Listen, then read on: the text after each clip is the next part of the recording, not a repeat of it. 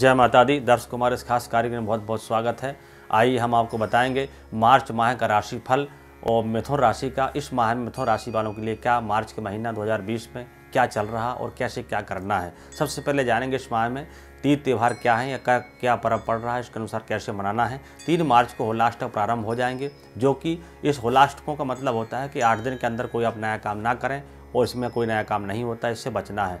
और उनतीस मार्च को होलिका दहन है जो कि आपके लिए होली का दहन करें और अपने शत्रु को पराजय करके अपने मधुर संबंध की स्थापना करें। 10 मार्च को बुद्ध मार्गी हो जाएगा और 25 मार्च को हमारे नवराज शुरू हो जाएँगे माता रानी के। इस दिन में आपको नवीन वर्ष भी हमारा हिंदू धर्म के अनुसार प्रारंभ हो जाएगा। आप माँ की पूजा करें और परिवार के साथ आगे बढ़ें और जीवन में किसी प्रकार की जो परेशानी आपकी खत्म हो जाए, माँ की कृपा आप पर सदा बनी रहे। मिथुन राशि के जो स्वामी होते हैं, बुद्ध होते हैं और मिथुन राशि वाले जो जातक होते हैं, बहुत चंचल होते हैं और हर किसी में काम लेने में आगे बढ़ते हैं और बुद्ध एक युवराज है और ऐसी स्थिति में क्या राहु लगन में बैठा है? तो ऐसे में बड़े बड़े काम आप इस माह कर सकते हैं। उच्च का हो गया राहु मिथुन राशि वालों के लिए, क्योंकि आप जो चीज़ की प्लानिंग करते हैं, वो काम पूरा नहीं होता है, लेकिन इस माह में आपका पूरा काम होने वाला है और समृद्धशाली राहु लगन में बैठने से अच्छा फल देता है और बड़े से बड़े काम आपको कराने की क्षमता रखता है।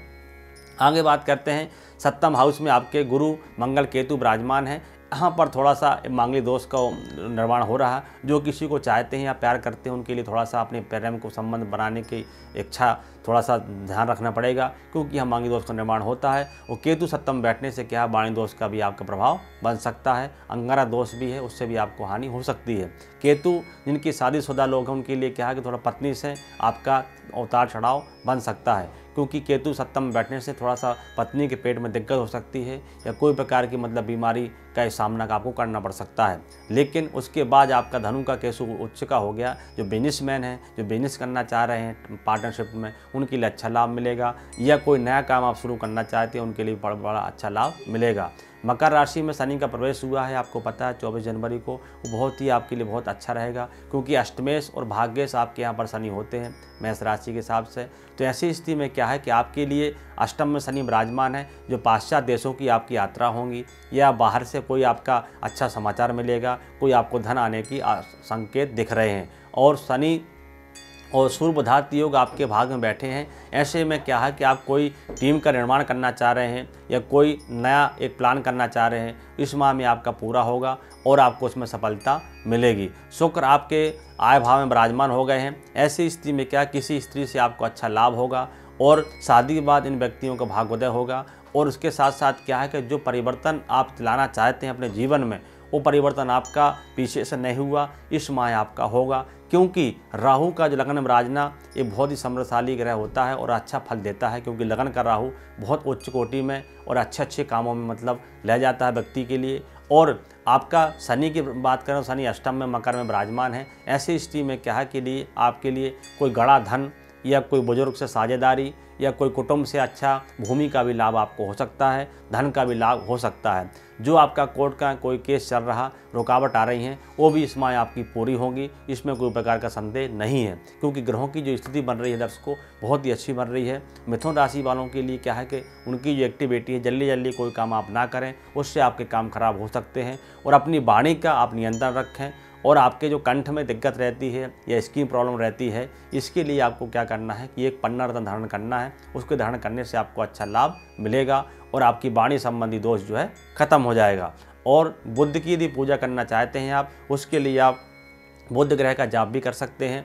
या हर बुधवार को दूरवा गणेश जी को चढ़ाएँ, उससे आपके भाग्योदय होगा और सरकारी नौकरी में आपको लाभ मिलेगा। जो व्यक्ति सरकारी नौकरी करना चाह रहे हैं जो चाहते हैं कि हमारा हो जाए, उनका भी एक अच्छा योग बनेगा, क्योंकि सूर्य योग बना है कुंभ राशि में। ऐसे में मित्र क्षेत्रीय हो गए हैं तो यहाँ पर वकील, जज और बलवक्ता की जो प्रधानता दी जाती है मतलब बड़े बड़े पदों की, उसमें आपको अच्छा लाभ मिलेगा। इसमें कोई संदेह नहीं है। कोई भी आपका क्वेश्चन है, कोई प्रश्न है, हमारे संस्थान से आप पूछ सकते हैं, क्योंकि बिना कुंडली मिला या बिना कुंडली के वेचन करने के बाद कोई काम आप करते हैं, उसमें आपको हानि हो सकती है दर्शकों। तो हमारा आपसे यही रिक्वेस्ट है, कहना है कि जो भी काम करें साफ़ सुथरा काम करें, देखने के बाद करें तो आपको बिज़नेस में चार चाँद लगेंगे और आपका जीवन मंगलमय बीतेगा और परिवार की यदि बात करें पति पत्नी में संबंध अच्छा रहेगा। जय माता दी। भूमि, भवन, वाहन, धन संपत्ति, शादी। व्यापार एवं संतान आदि से संबंधित समस्याओं से हैं परेशान और चाहते हैं उनका संपूर्ण निदान तो ज्योतिर्विद राम अवतार मिश्रा जी से तुरंत संपर्क करें। हमारे संपर्क सूत्र हैं nine six five zero nine two, five seven one six, zero one two zero four one zero eight seven two seven. Email ID है Vaidik Jyotish Paramarsh 2004 at the rate G mail dot com हमारी website है W W dot astrovaidik dot com